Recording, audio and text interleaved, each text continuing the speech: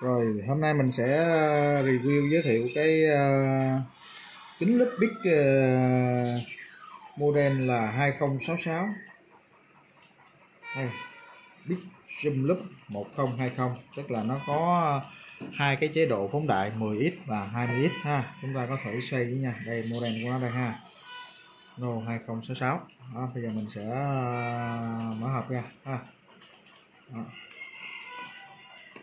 đây ha. Đây. Đây, nó hợp ra ha. Đó, ta chúng ta thấy có cái dĩa lao ha. Cái dĩa lao cái mặt kính đây ha. À, dẻ lao của bên hãng luôn. Và cái giấy hướng dẫn sử dụng ha. Đây.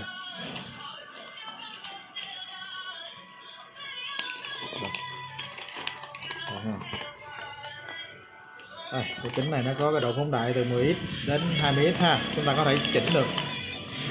Đây ha cái diode này, này kia nó có cái trọng lượng của nó là trọng lượng tịnh của nó là 95 kg ha. Ngoài ra nó nó có cái à, thước kính bên trong nữa độ chia là 0.1 mm ha. Đó. hoặc là in luôn ha nó có hai loại. Đó, rồi chúng ta mở hộp ra ha đây đây là cái à, mà cái kính được để ở trong một cái hộp da ha, rất là đẹp. Ha ha. rất là sang trọng. Ha đó. rồi, đây là cái à, phần chính ha.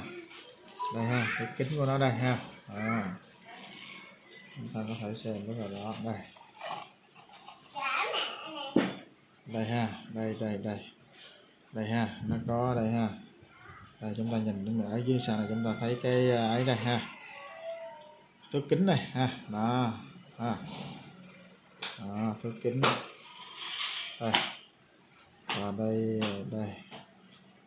Big zoom lớp 10 20 tức là 10x đến 20x ha. À, đây à, chúng ta mở ra.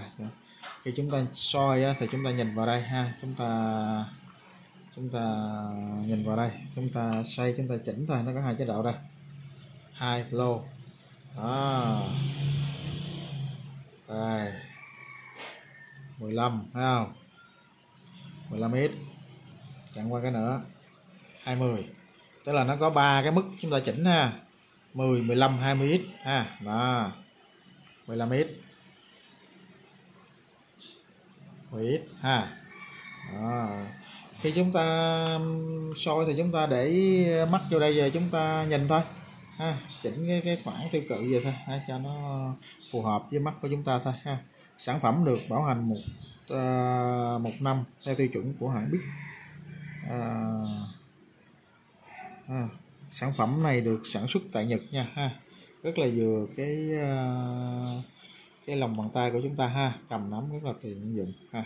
Rồi cảm ơn các bạn đã theo dõi video.